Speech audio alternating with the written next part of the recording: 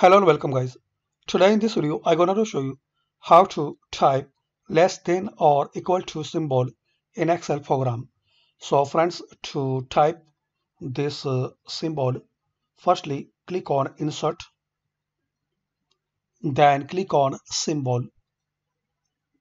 Now friends character code type double two six four type double two six four so you will see this uh, less than or equal sign.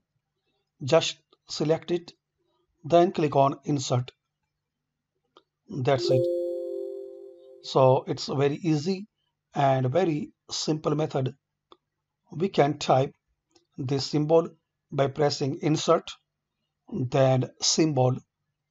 Now type this character code 2264 and select here then click on insert.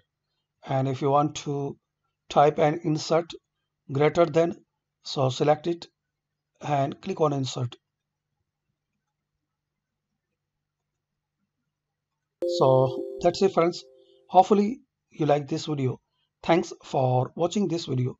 Please subscribe this channel for latest update